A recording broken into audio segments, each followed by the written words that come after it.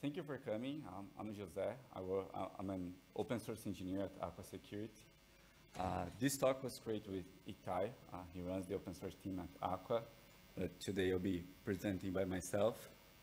Just some context. Like a couple years ago, some very meaningful attacks opens like everyone's eyes for supply chain security, right?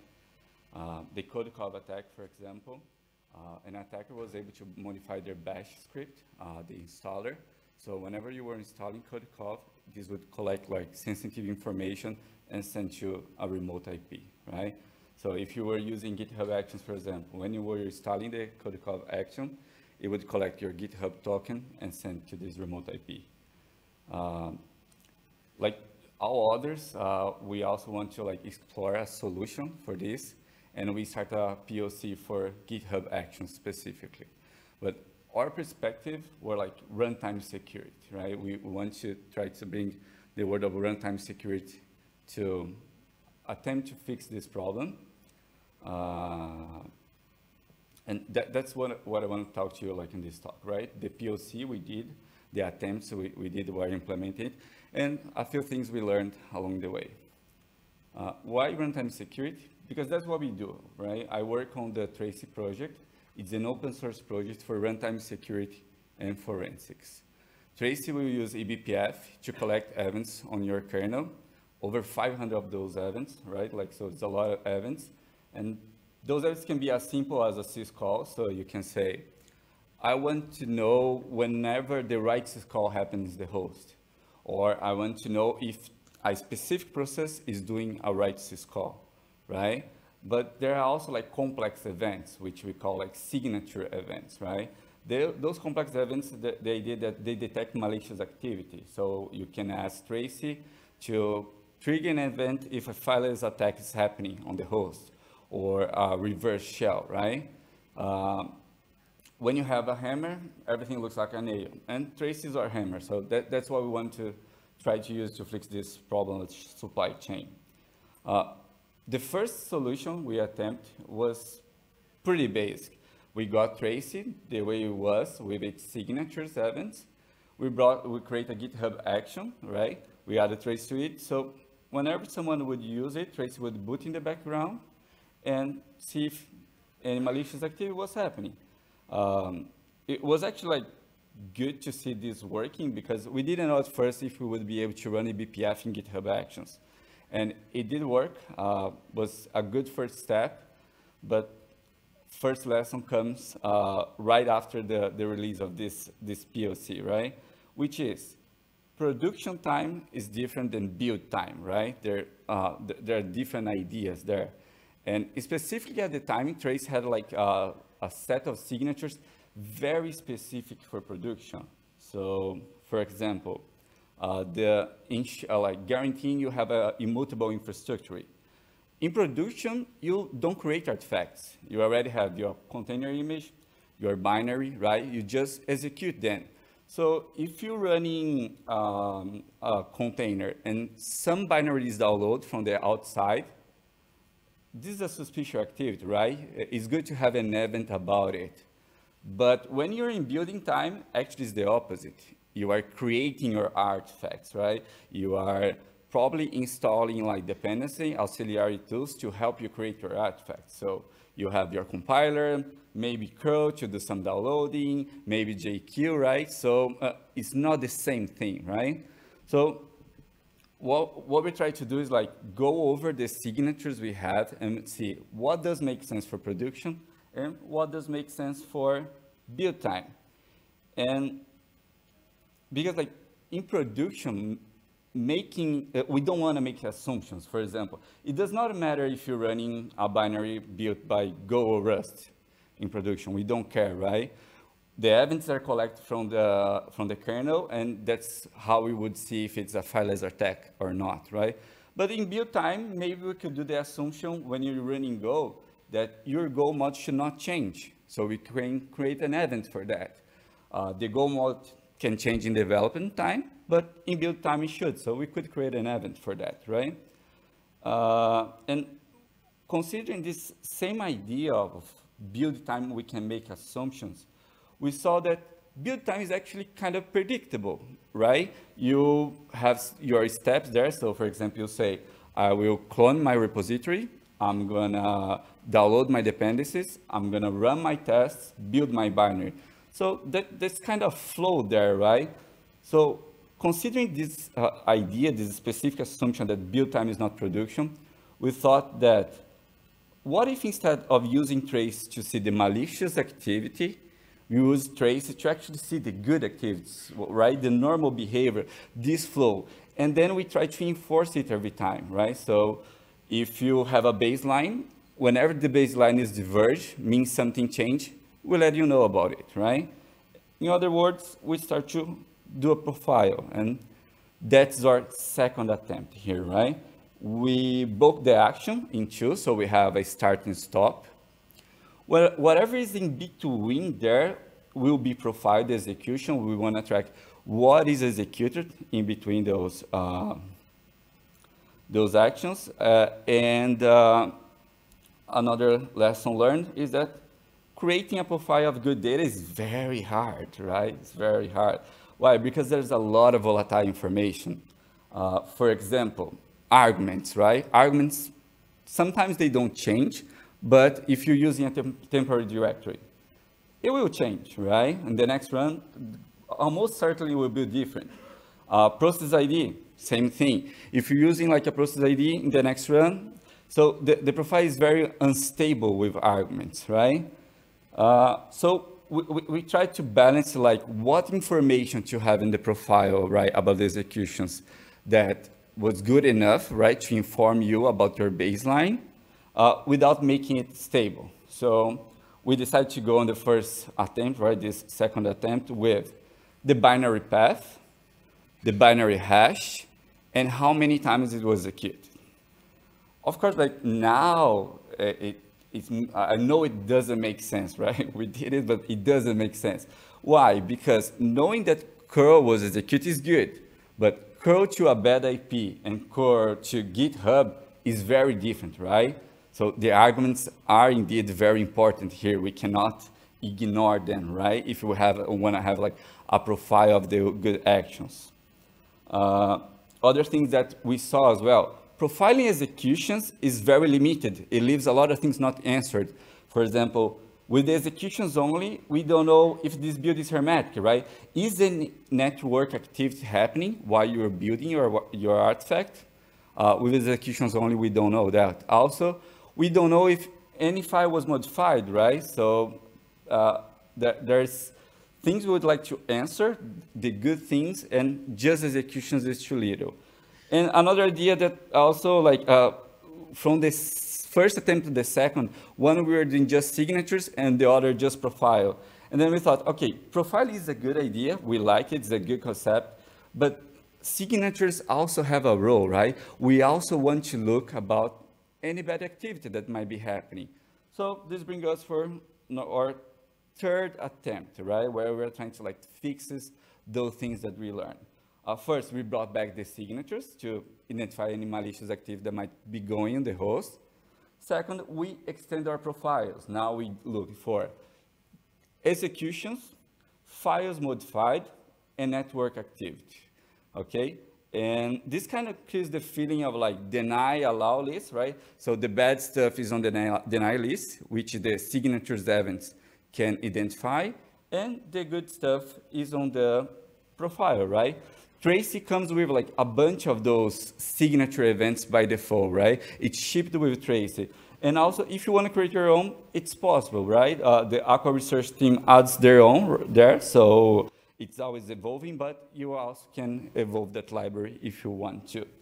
And that's the demo I want to do for you real quick here. So Just some context, okay? I have a Golang project. Uh, I create a branch here. And in this branch, I'm introducing a GitHub uh, workflow, okay? So, okay, it's a Golang project, some files. We have the starting action for trace, the stop action, right? The things in between we're gonna trace. We're like running our tests, building our binary, and here like I want you keep in mind this upload fake action, right? Uh, it, it, something will happen, like for now, just note it, okay? So we're gonna go back to the terminal and push this branch to GitHub so we can create our PR. Pushing, let's go to the GitHub, create our PR.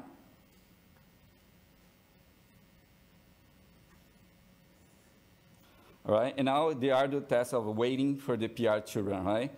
I really try to use like my skills editing this video okay, here, okay? So uh, it's faster. It's not fast that fast in real life, uh, let me warn you guys. So wait for it to run. And it fails, right? Why it fails? Because it's the first time we are running, right? So we don't have baseline yet. It did create a PR, and this PR will have the three profiles I mentioned before. We see there's no activity for DNS. We see the executions that we were able to trace, right? What your pipeline did, what your workflow did. And we also see that two files were changed. So this is our baseline, and we're going to merge it, okay? Merging. All right, we, now we need to update our PR, right, with this baseline. So we're going to go to man, check out, and update the branch. all right? And going to the PR, we're gonna rebase from man and push it. Rebasing and push to update the PR. Again, this will start the workflow. Waiting for it to start. Okay, and should be now. Yeah, okay. so it's starting, it's running there, right? And it generates a new profile and it compared to the baseline. And before we failed, because we didn't have, now we have the baseline, so it passed, right? We, we, the build this time did exactly the same thing that it did before, right? All right, we're gonna merge our PR, adding our workflow there.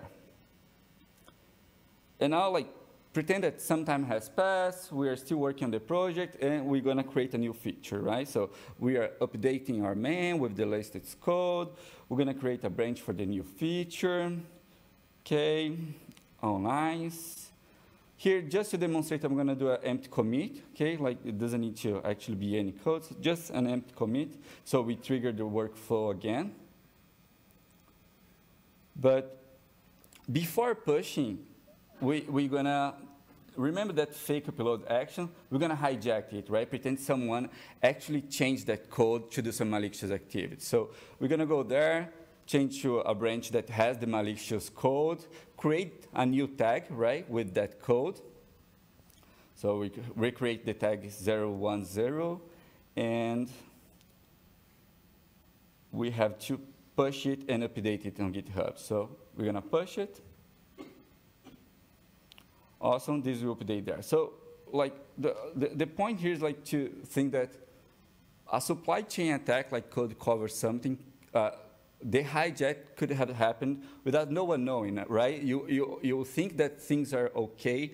Uh, your code, you test, you scan, you validate, and things are good. But like maybe one of the, your dependencies, right, the, the class supply chain attack was hijacked and you don't know about it. So we push it.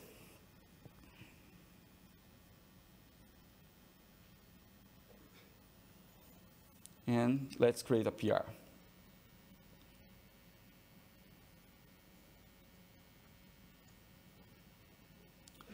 Okay, again, we need to wait for the workflow to start. So give it like a, a couple seconds. It starts, and this time it should fail, right? And, and we're gonna note a couple things. So the first thing, right, you see it wrote a comment there, it's still running, and it should fail now. It also created a PR. We see that it was linked there, so it failed. Okay, so what, what has in the comment? This comment is like uh, how we found to say that, like how to inform you about the malicious activity, right? So there was a signature event that identified someone tried to contact contact a crypto mining domain, right? So it added there. There are the informations about the event, right? What's the process ID, what's the context, everything. Uh, and also it create a profile because now our baseline diverge, right? And if we see the profile, what we see there? First, uh, the DNS that was accessed, right, is a cryptomine DNS. The command that was executed, here just to simulate we're using DIG, so uh, the command that was executed, and also that our main.go was changed, right? Our file in our workspace, our code now is different. So it, it, this should be alarming, right? So that, that's the idea of the profiling, right? Um, and that, that's the demo.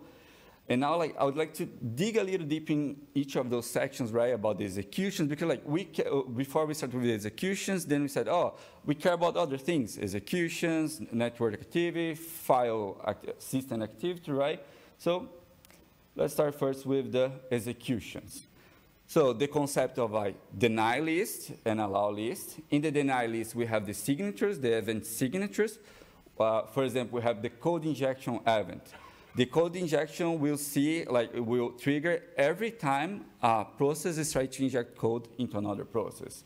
The LD preload event, it will trigger every time someone is using the LD preload variable to load a library before your process, right? And for the good part, uh, we extend the, the profile now. We, before we just had binary path, binary hash. Now we have user ID, arguments, and environment variable, right? Like, remember that arguments made the profile unstable?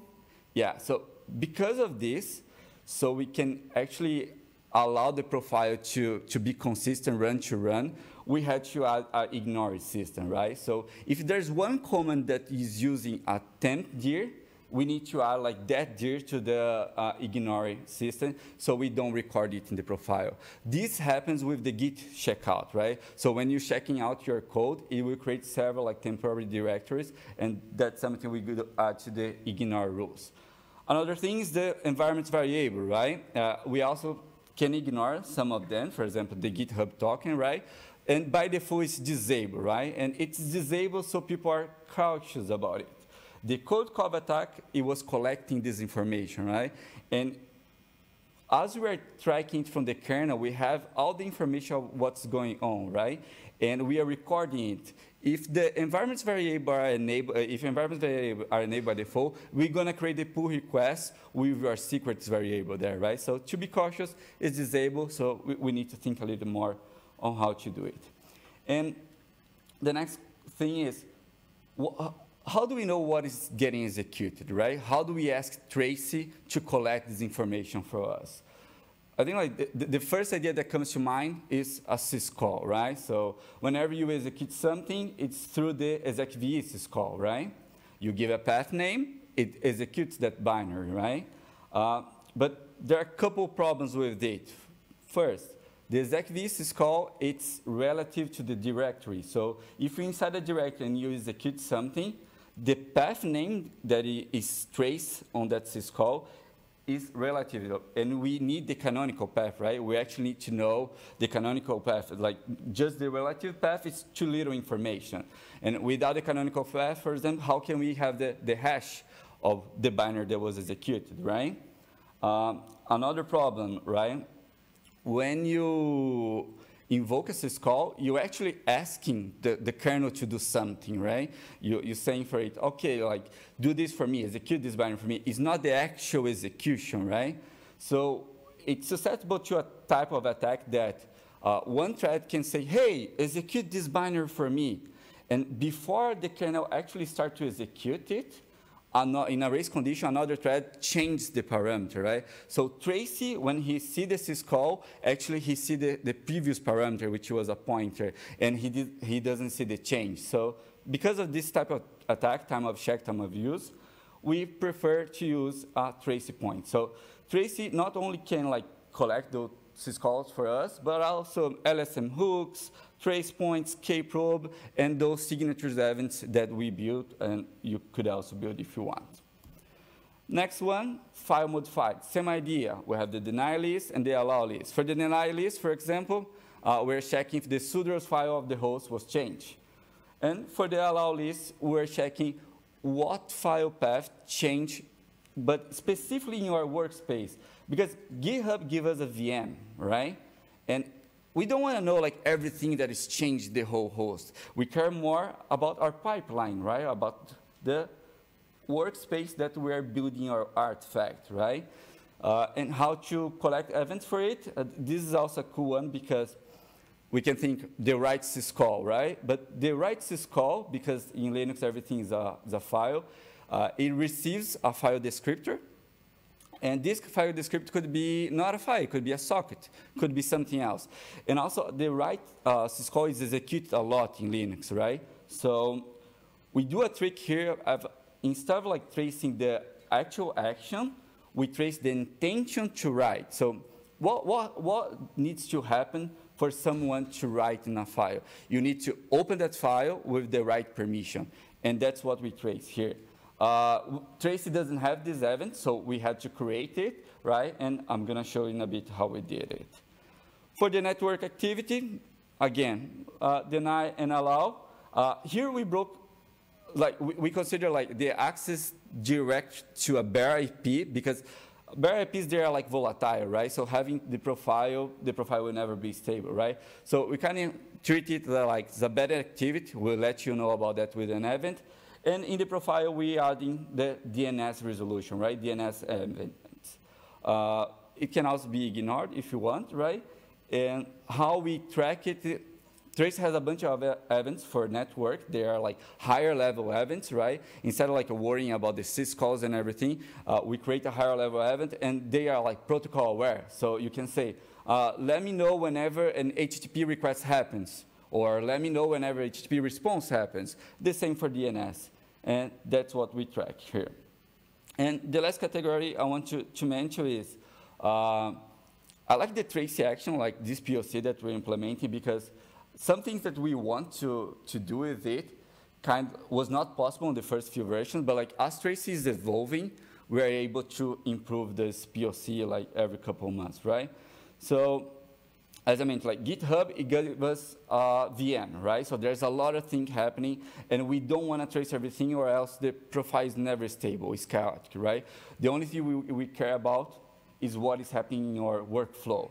And inspect GitHub, we actually see that like every step of our workflow is executed under the same process tree. And for us, this is great because Tracee can filter easily by process tree. We just say, hey, Tracee, collect this evidence by this process tree. It doesn't catch everything because, for example, if you're using Docker to build a machine, whatever command is in your Docker file is important for the profile, right? You want to know that your Docker file did occur to some place, right? But what we see on the uh, runner tree is actually the execution of a Docker build, right? We don't see the exact commands being executed. So this happens in another process tree. We also say, hey, Tracee, please trace this process tree and that process tree. But something that we couldn't do before, and recently we did a feature and now we can, like once we narrowed, we, we couldn't have like the, the the other eye, right? We were looking with one eye to these, these things, the other eye to, to the rest, right? So for example, signatures. The signatures should not be only about the process tree of the Docker build or the workflow, right? It should be about the whole host. We care about anything, like if someone is doing an SSH connection on this host while your, our building is running, we care about it, right? And with a recent feature of policies, we, we finally were able to implement it. Let, let me show the policy for you. So this is a policy for the runner, right? Uh, basic policy, it has a name, description, default action. The scope here, which is the, the runner, right? Whatever is happening under that process tree. And the events we care about, schedule process exec, net DNS. For the case of the container build, right? Same idea, default action, name, or events in this case are the same, schedule process exec, netpack DNS, but our scope is different. Here what we are saying is that, okay, you know like that binary, it builds the Docker image. And what we want to do is like follow the children that are created there, right? Because they are the commands executions for the Docker image. So we do dash follow there. For the signatures, then like the, the new thing I was saying, right? Our scope is now global. For signatures, we care about all those events, but for the whole host. We don't want it just for one process tree or the other. And I mentioned before about the, like tracing the intention to write, right? Uh, and we had to create an event for that. Like you can create signatures events in Tracee with either Rego or Golang. Uh, here I'm using Rego. You can see the metadata, the event name is called file write, right? Uh, in the trace select events, we say what will originate these events. So we say whenever the secu a security file open, which is an LSM hook happens, or, or meaning someone is opening a file, we run our logic here, which is the, the, the Rego part about the, the Tracee match. What is our logic? We check, is this open actually intended to write? If so, we grab the path name and return it, okay? And why we do it? Because now we can use it in a policy. We can do a policy that, for the event, file write, that we just created, but then we filter by the workspace, right? We only care about changes happening in our code, right? And that's why we return the path name there, okay? So this is very new to Tracee, uh, uh, and it, it's a, I work on this feature, I'm really happy about it, sorry. Uh, so, uh, and the last thing I want to mention here is like, while working on the profiles, we thought that Tracee can collect now a lot of information, right? And like, this is good for detecting malicious activity. This was good for the concept of the profile, but it could also be good for other things, right? Thinking like observability here. And uh, very recently, there was a, a, predicate for a runtime attestation that was merged in, in-toto. And is specifically for that. It's kind of the same idea of the, uh, the profile, right? It, it's different, but it, it's similar. Uh, not sure if anyone uses like Tekton here. Tekton has Tekton chains, and whenever you're building an artifact in Tekton, Tekton chains Tracee what you're doing, and then it attests, it says, oh, this artifact was built with those comments, right? And this runtime predicate here, this attestation, has the same idea, but it's more generic. It could be applied for anything, right? You could do it for a script. You could do it for other CI, in our case, GitHub Actions. And that's what we are looking at implementing now because we can use this attestation to help like supplement our SLSA attestation or provenance, right, for SLSA. And it's still ongoing, but I, I have a POC of it, and soon uh, the idea is to release it, right? Uh, this is like some of the, the lessons learned that uh, there's a list if anyone get these slides. And thank you. Here's like the links if you want to know more the projects or if you want to chat about it and like give me your perspective. I would love to like hear your feedback. Uh, thank you guys, really.